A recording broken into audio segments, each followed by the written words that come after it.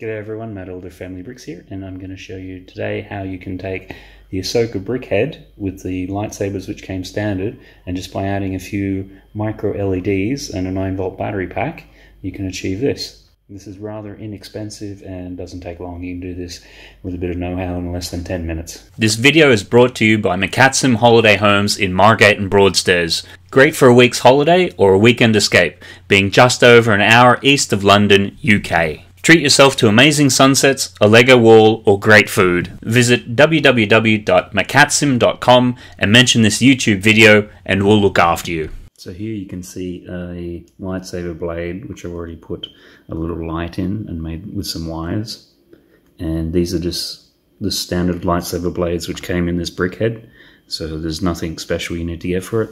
Some of the other pieces that you're going to need is one of these micro LED lights so it's really tiny. And then on the end of this one, I have a resistor and then just have a couple of drill bits. This will drill all the way through the lightsaber. This will just help countersink the light a little bit. Uh, solder, flux, drill, little thing to help hold it.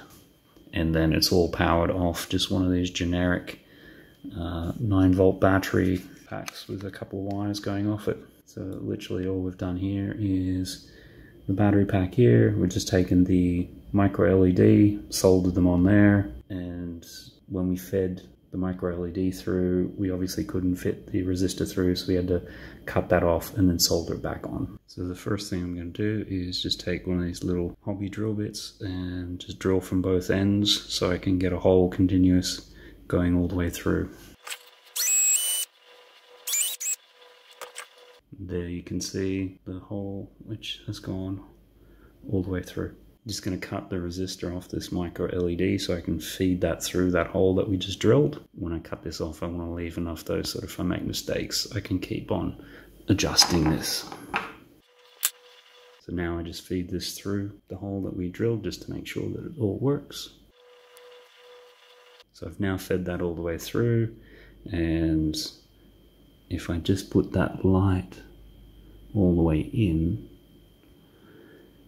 when you go to put the lightsaber blade on, obviously you've got that micro light now taking up a bit of space, which you can stay on, but it's really flimsy, so there's not much gripping actually in here, so it's going to pop off pretty easily.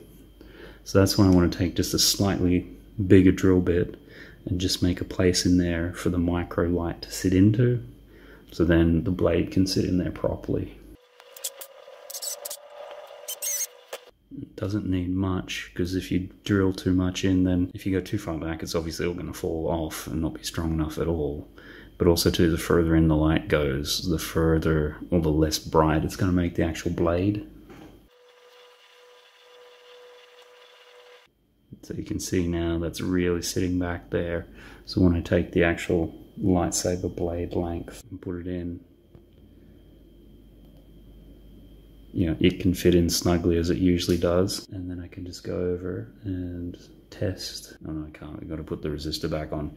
If I was to put this on now without the resistor, there's a good chance that micro LED light would blow. Here, just going through and stripping the wire back and then using these little helping hands to go through and solder the resistor back onto the part which had got taken off earlier. Links around the video for some of the parts used in putting these lights into these lightsaber blades.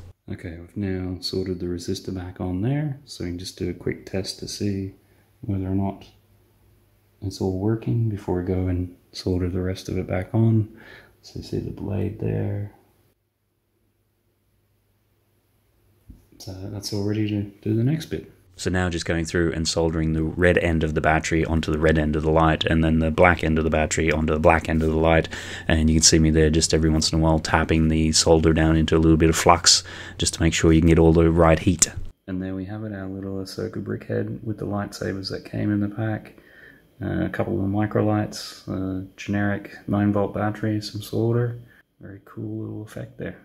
And here is Ahsoka in amongst my other lights for Star Wars sets.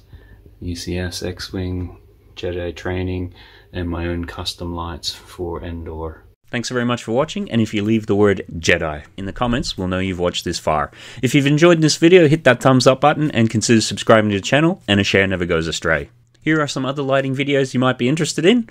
Alternatively, here are some other videos you might also like to watch.